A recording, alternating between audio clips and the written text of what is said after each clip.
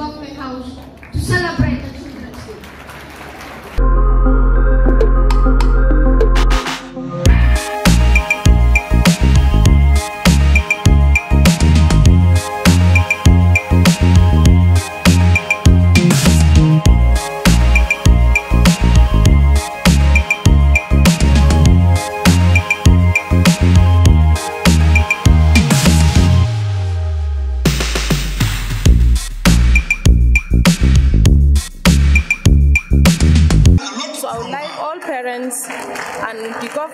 to take all children of the school and if possible to bring a law that will prohibit the hugging of children in the.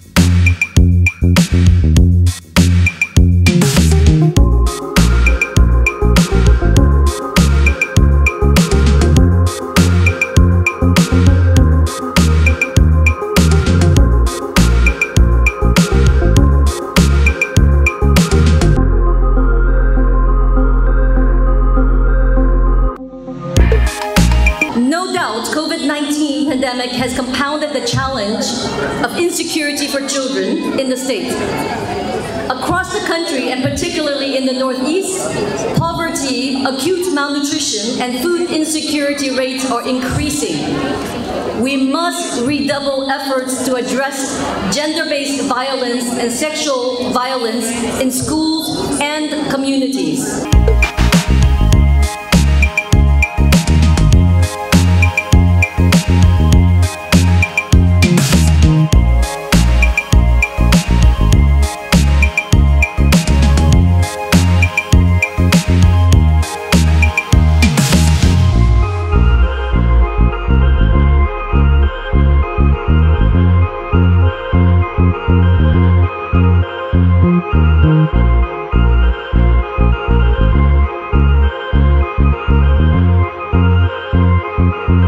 The children from the IDP camps, ones from the private schools and other public schools spoke eloquently on a topic that is so germane and that is the message of today.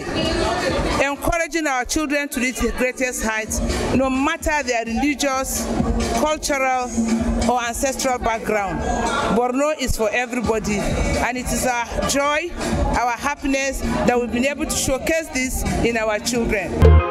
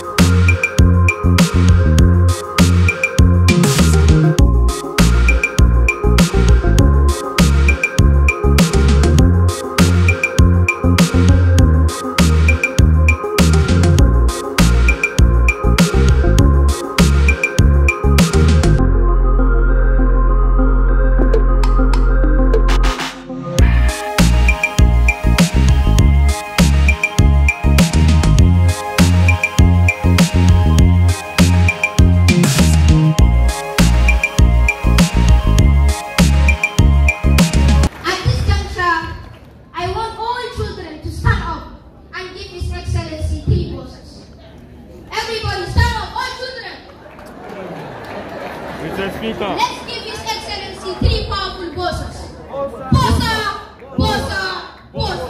Thank you. The lockdown that the government has imposed for several weeks is not a total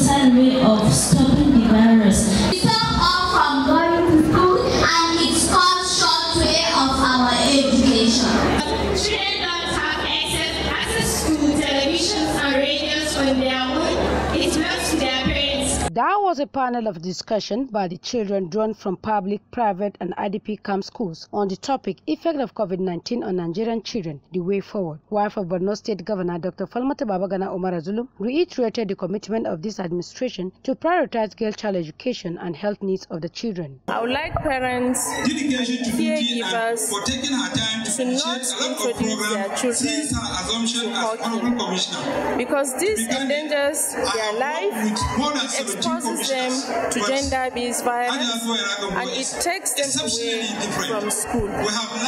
So I would like all parents and the government also to take all children off the school and if possible to bring a law that will prohibit the hawking of children. Commissioner for Women Affairs and Social Development, Zuwaira Gambo, and the UNICEF Chief of Field Office, Phuong Nguyen, call for action to protect the mental health of the children and address the learning gap created by the COVID-19. The Ministry of Women Affairs and Social Development is not left behind. Moreover, we have a very strong support as a pillar in his wife. She may be young, but she's a very young, intelligent, and dynamic woman. So between the husband and the wife, we have no reason not to celebrate these children. They are the leaders of tomorrow.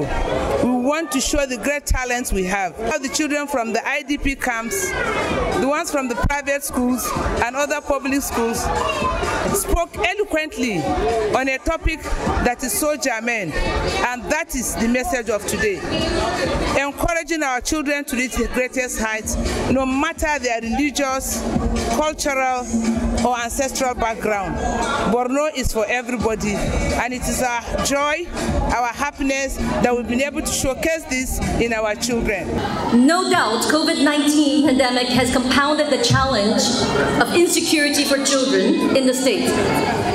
Across the country, and particularly in the Northeast, poverty, acute malnutrition, and food insecurity rates are increasing. We must redouble efforts to address gender-based violence and sexual violence in schools and communities.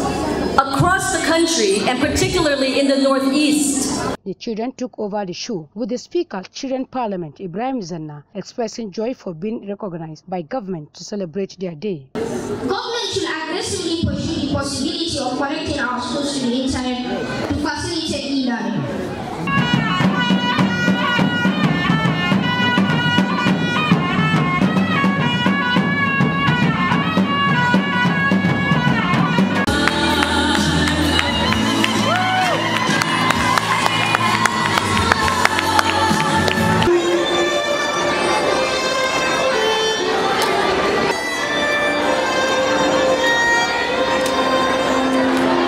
Various activities ranging from poems, debates, and lot more. Were featured, where some of the children. Shared their experiences.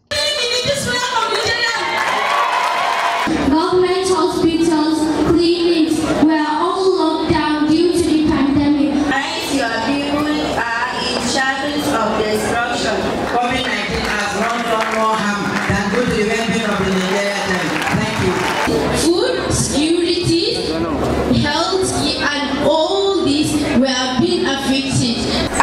happy to meet the governor's wife. I am happy because today is Children's Day. Happy Children's Day.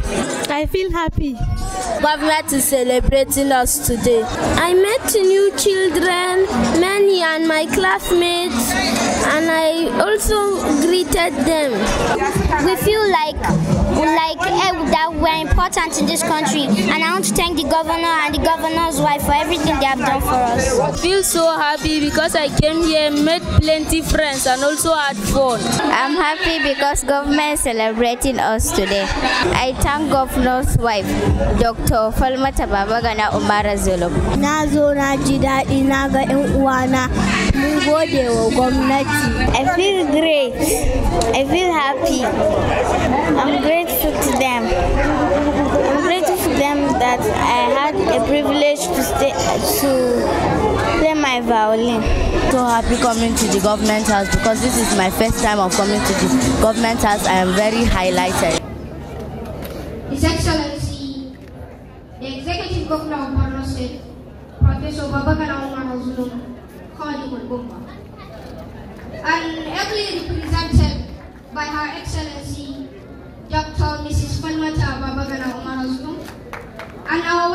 Acting Commissioner Haja Zuwaira Hongo, all other protocols duly and respectfully observed. Uh, permit me to start on the existing protocol. My name is Ibrahim Zanasuno, the Speaker of the Borno State Children's Parliament and a student of Maiduguri Capital School. Um, it is indeed an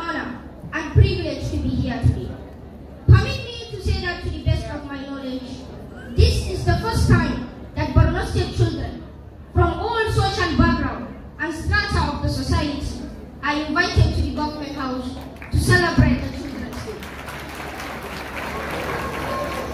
This can only happen during the dynamic and proactive leadership of a person of your caliber. God bless you about that. Ma, let me use this opportunity of your presence to highlight the debilitating and destructive effects of COVID-19 on children in Borno. The destruction of our academic activities has done incalculable damage to our site.